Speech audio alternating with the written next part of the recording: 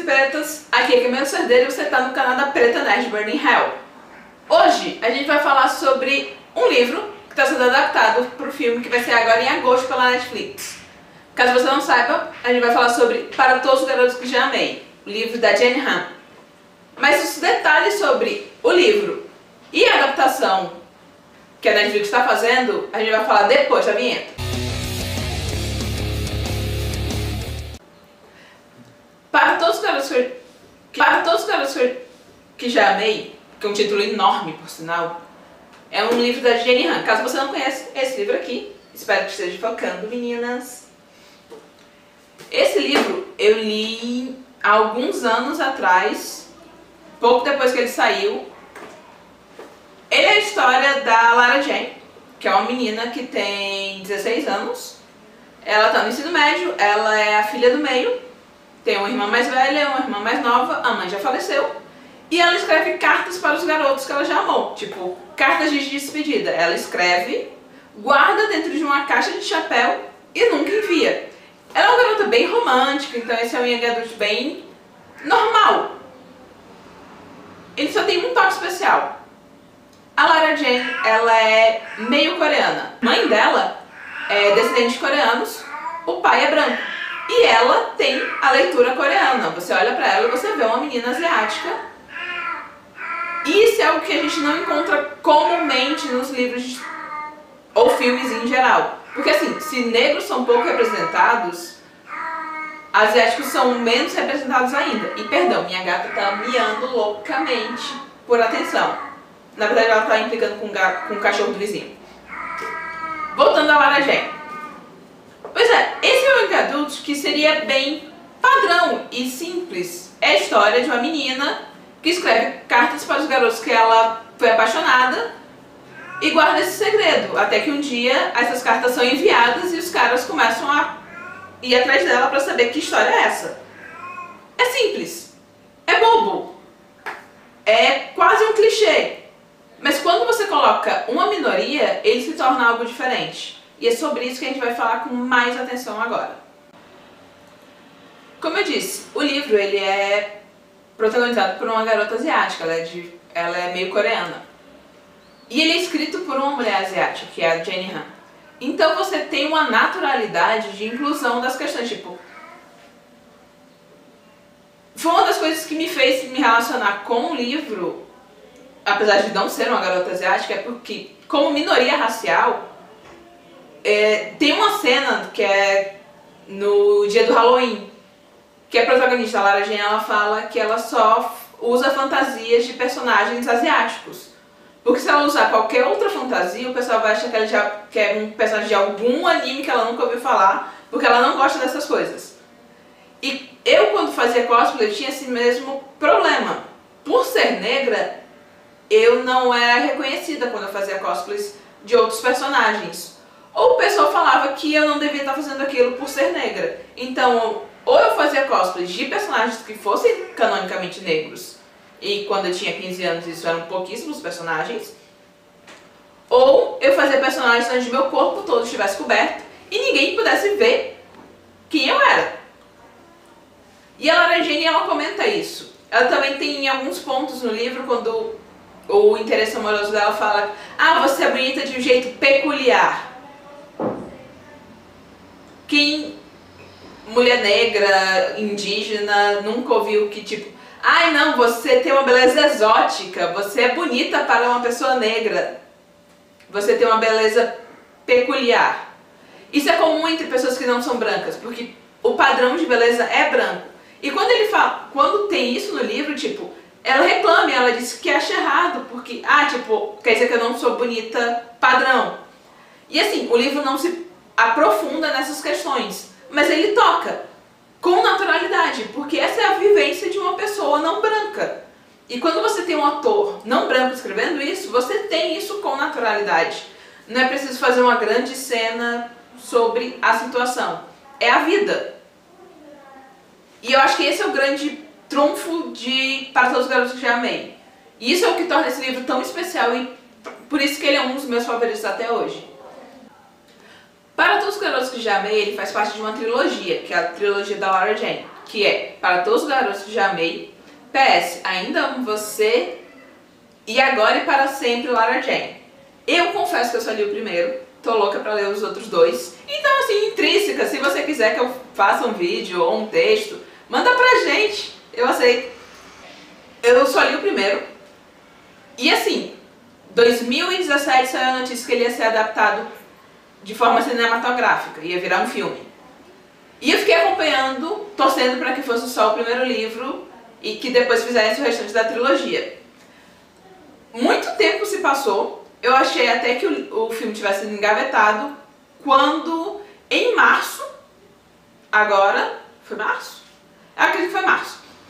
A Netflix anunciou que ela tinha comprado os direitos autorais do filme, que já estava gravado, e queria lançar. Então ele vai ser lançado agora no dia 17 de agosto.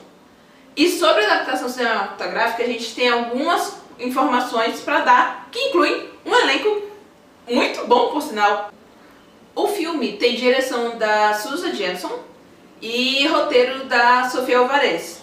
Então a gente tem duas mulheres encabeçando a equipe técnica dessa adaptação, o que é muito bom. Sem falar que, assim, a roteirista, apesar de não ser asiática, ela é uma minoria, ela é uma alvarez, é uma mulher latina. Caso você não reconheça o sobrenome, significa que é latina. O que faz eu entender a escalação de quem vai fazer o principal interesse amoroso da Lara Jane no livro. Eu falei pouco sobre a história, mas vamos lá. O livro é a história da Lara Jane, das duas irmãs, a mais velha que é a Margot, a mais nova que é a Kitty. O pai dela aparece de vez em quando, e você tem dois rapazes centrais. O Josh, que é ex-namorado da Margot e paixão secreta da Lara Jane, e o Peter, que foi o primeiro garoto por quem a Lara Jane se apaixonou e para quem ela escreveu a primeira carta. Só que, quando o livro começa, ela não tem interesse nenhum no Peter. Ele apenas é o atleta galã, gostosão da escola. E ele vai ser interpretado por um ator latino, que no livro não dá a entender que o personagem seja latino. Se você assiste The Fosters, você deve conhecer o Noah, que é o ator que fazia o Jesus a partir da terceira temporada, porque na, nas duas primeiras temporadas nós tivemos Jake Johnson fazendo o papel do Jesus, da terceira à quinta nós tivemos o Noah. Ele é o principal interesse amoroso do filme, o que é legal ter um homem latino nesse papel, fora que ele é um fofinho. A Lara Jane vai ser interpretado pela Lana Condor, que você vai conhecer do filme X-Men Apocalipse. Ela é a Jubileu, aquela menina asiática que aparece por 10 segundos e não tem fala. Então, é essa menina. Viu como eu falei como representação asiática é pior do que negra? Já a Margot, que é outro personagem muito importante no livro, vai ser interpretado pela Janelle Parrish, que se você assiste Pretty Little Liars, você deve conhecer ela como a Mona. O que é interessante ver uma atriz que eu já acompanho, que vi o trabalho. Agora, é uma pena, porque a Janelle Parrish não é coreana. Ela é havaiana de descendência, acho que japonesa ou chinesa. Enfim, ela não é coreana, mas era o que tinha.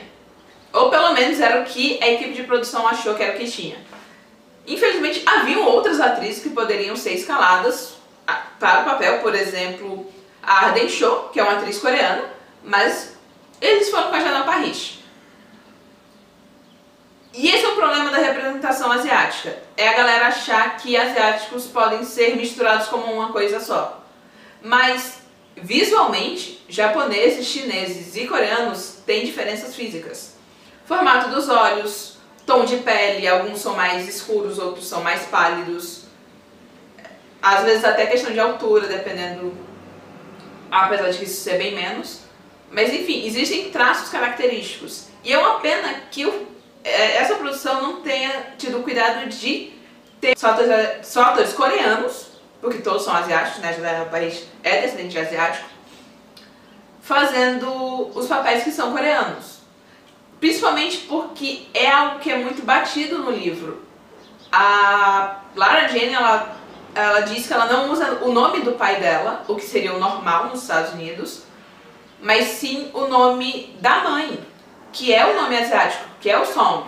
Então seria muito bom e muito importante para a comunidade coreana que o filme inteiro fosse estrelado por atores coreanos. É uma pena, mas Janelle Parrish ainda é uma boa atriz e pelo menos não é a Scarlett Johansson. Minhas expectativas para esse filme são muito boas, porque assim, é uma história muito simples, muito amável e tem um protagonismo que a gente quase não vê. E é muito feliz que eu esteja vendo isso. A minha esperança é, eu sei que a Netflix ela não faz muita divulgação para produções que sejam não brancas. Então eu faço um apelo. Assista o filme na net, quando ele sair na Netflix. Indique para os seus amigos. Faça mais pessoas assistirem, tipo, indique para pelo menos quatro pessoas porque aí, quem sabe, a gente não tem a trilogia completa da Lara Jane e toda a história dos livros. Porque é uma trilogia que merece ser adaptada, cara. Tem tanto Young Adult sendo feito por aí, tipo, A Culpa é das Estrelas, Cidade de Papel, sei lá qual o próximo filme do John Grimm, livro do John Grimm vai ser adaptado. E esse é um que é legal, que traz uma representação que quase não se tem. Então, vamos incentivar isso, vamos apoiar mas representações asiáticas e não brancas no geral. Eu sou Camila Cerdeira, esse é o canal da Preta Nerd, essa é minha gata Willow, gritando ao fundo. E caso você não seja inscrito, se inscreve! A gente está trazendo um vídeo para vocês toda semana, estamos tentando fazer isso duas vezes. E não esquece de assinar o sininho, sininho, você não recebe a notificação de que nosso vídeo chegou. Então não esquece. No mais, deixe seu comentário se você leu os livros e o que você espera do filme. Até a próxima!